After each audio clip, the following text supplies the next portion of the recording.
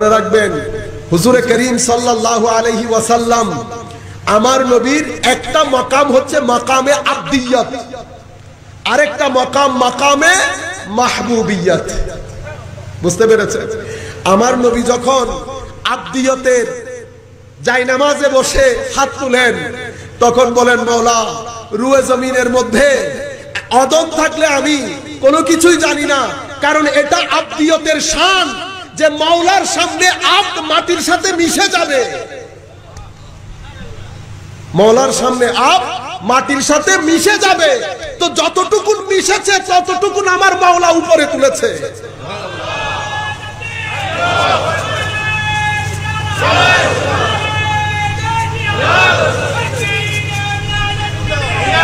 এখন আপনি ওই এখন আপনি ওই চেয়ার নিয়ে টানাটানি করছেন। আমার নবী অন্য যাই নামাজে বসে। যখন মকামে মাহবুবিয়াতের মধ্যে আমার নবী বসেন, তখন আমার নবী ডাক দিয়ে বলেন, সালুনি আম্মা শেতুম। গলার সুর পরিবর্তন হয়ে গেছে। এই জায়গার মধ্যে আমার নবী সাহাবাই কেরামকে ডাক দিয়ে বলেন, হে আমার সাবাই কেরাম, আদম সফিউল্লাহ, কথা ঠিক। ঈসা রুহুল্লাহ, কথা ঠিক। ইব্রাহিম খালিলুল্লাহ, কথা ঠিক। মুসা কালিমুল্লাহ, কথা ঠিক।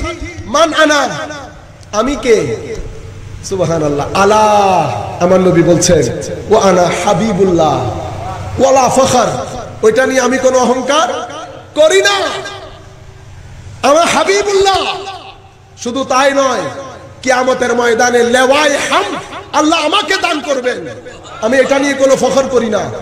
কিয়ামতের ময়দানে প্রথম জান্নাতের দরজা নাড়া দেব আমি মোহাম্মদ রসুল্লাহ সাল্লাম এটা নিয়ে আমি কোনো অহংকার করি না।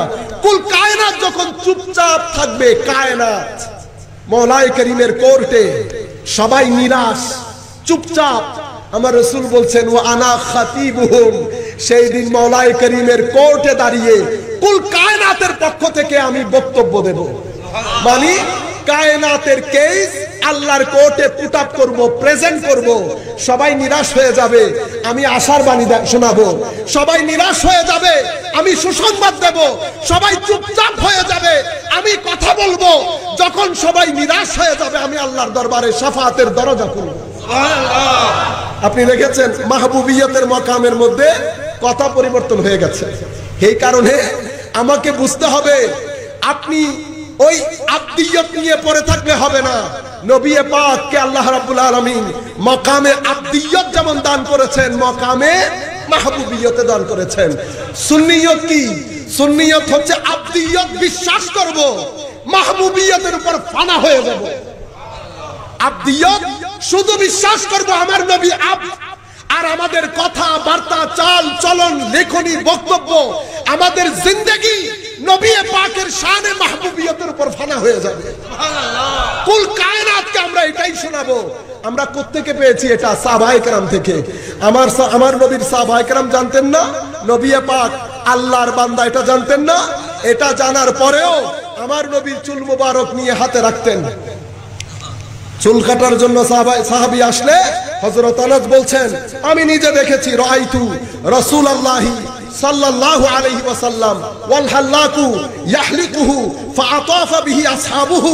সাহাবায়ে কেরাম নবী পাককে তাওয়াফ করতেন হাতগুলা জালের মতো বিছিয়ে দিতেন চুল মুবারকগুলা নিয়ে সংগ্রহ করতেন। সুবহানাল্লাহ।